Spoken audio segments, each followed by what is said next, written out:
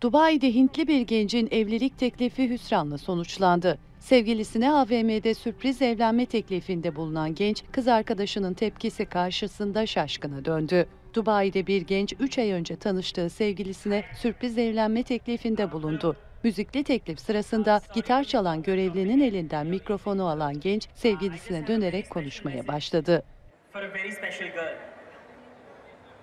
This is where we met three months ago.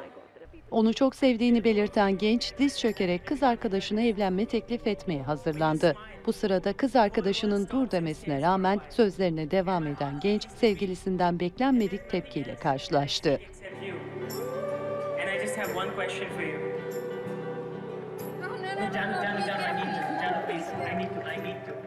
Müzisyenlerden birinin gitarını alan genç kız sevgilisinin kafasına vurdu. You truly make me the happiest person on earth. Genç adam aldığı darbeyle şaşkına dönerken çevrede ise büyük bir sessizlik yaşandı.